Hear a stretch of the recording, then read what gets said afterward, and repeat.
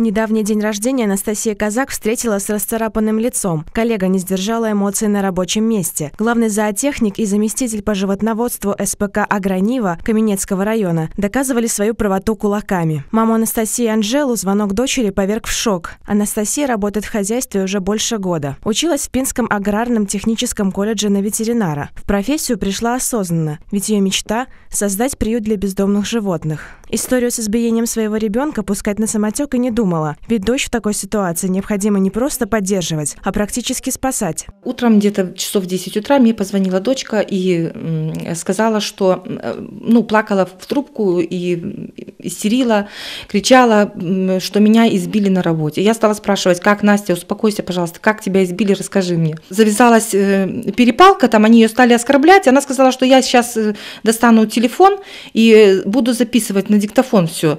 Вот, для того, чтобы у меня были какие-то доказательства, что вы меня оскорбляете, потому что уже это просто э, перешло всякие границы. Разговор на повышенных тонах Анастасия снимала на видео. Включая запись, она и не думала, что коллега на нее накинется. Пытаясь сбежать, Анастасия укусила обидчицу. Как только удалось вырваться, девушка вызвала милицию, написала заявление. Женщина, которая оставила следы на щеке Анастасии, свою вину отрицает. Более того, написала заявление на молодого специалиста в ответ. Одна из обидчиц ситуацию комментировать не стала. Сказала лишь, что видео драки видела в интернете. Это обман. Мама Анастасии начала собственное расследование. Хотела выяснить, почему проблема есть, а решение до сих пор не найдено. На запись в социальных сетях откликнулись многие. Подтвердили, что ситуация в СПК действительно сложная. Была и остается.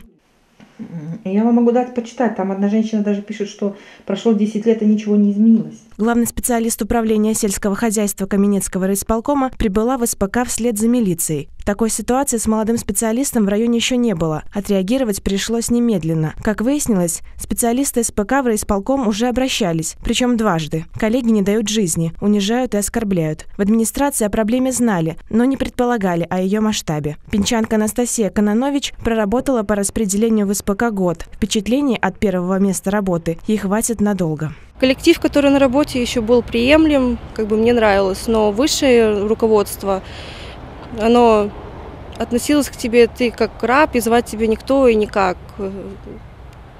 Как бы ты не имел ни своего мнения, а, не мог делать то, что как бы ты сам считаешь нужным. После такого отношения мне уже было все равно, я в свой выходной не выходила, потому что спасибо тебе за это не скажут, и в табеле тебе тоже ничего это не учтется. Ты можешь работать там по 10 часов, по 12, тебе приедут скажут, почему ты еще сделал не то, а в табеле у тебя все равно будет стоять 7 часов. Выяснилось, что несколько лет назад с коллегой пыталась судиться молодой специалист, но ничего из этого не вышло. Около восьми лет назад я работала в СПК «Гранива». На работе случился скандал. Она смешала меня с грязью. Я, конечно, тоже не молчала. На эмоциях сказала, что не должна была. Решила не бездействовать. В итоге судилась за оскорбление. Суд переносили несколько раз. Обвиняемая не являлась. В конце концов, главный свидетель с моей стороны отказался от показаний. Ему там жить и работать. Зачем портить отношения? На том все и закончилось. Коллеги рассказали, что не только я осмелилась обратиться в суд, но ни тогда, ни сейчас ситуация никак не разрешилось. Администрация района предложила Анастасии перераспределиться, но девушка отказалась. В СПК работает ее молодой человек. К тому же на последнем курсе Анастасия получала материальную помощь от хозяйства. В случае смены места работы ей, скорее всего, придется вернуть деньги. В аграрно-техническом колледже, где училась Анастасия, с молодыми специалистами связь поддерживают. Интересуются, как устроились на первом рабочем месте. Я связался с руководителем хозяйства, я выяснял ситуацию э, по данной девочке.